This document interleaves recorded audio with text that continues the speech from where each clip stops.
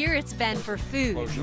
There it is. Here are some spots we visited that really stuck with us. Jim loved Junkichi Robata on Capitol Hill. They specialize in izakaya, informal Japanese pub fare, and robata, foods grilled over Japanese charcoal. Jim's favorite part was probably Sota, a robot who can remember repeat diners. Dono arigato, Mr. Roboto. Jimmy was also a big fan of Maslow's in South Lake Union. It's part of a paid apprenticeship program with FareStart, helping people out of poverty through on the job training. A great mission, and mac and cheese worth fighting over. No, no, no. Michael hasn't stopped talking about RN74 in downtown Seattle. Their French inspired entrees were très magnifique, but it was a dessert that stole his heart. Mm. OMG. Look at that. Sugar pie pumpkin actually a place cheesecake. in Portland that treats our.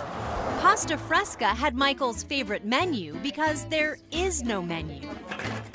Chef Mike Horry creates original dishes for every customer, depending on their taste and dietary restrictions. Yeah, I love this place because it's a surprise. You never know what you're going to get. One of the most unique experiences we have ever had. This is awesome. Saint loved this South Sound restaurant, Pimienta Bistro in Federal Way. It's fine dining in an unintimidating space, a fusion of the owner's Latin American roots with European cuisines. Everything we tasted was truly exceptional.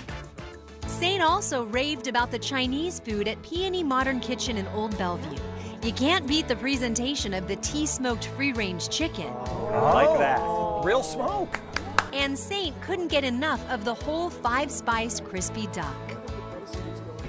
Jose was a big fan of Big Chickie in Hillman City, and not just because they have great t shirts.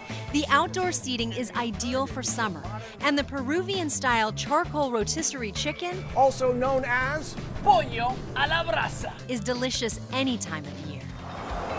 I absolutely loved Seattle Biscuit Company in the Frelard neighborhood. Chicken and waffles, hot skillet breakfasts, authentic Southern style biscuit sandwiches. There is nothing I wouldn't eat here. Full disclosure, I've been back with my family twice since. We also have an all staff pick, Buddha Bruddah in Rainier Valley. This family run restaurant started as a food truck, and their menu is part Hawaiian and part Thai and 100% scrumptious. We order takeout for every work event we possibly can. we could stuff our faces here every day if we wanted.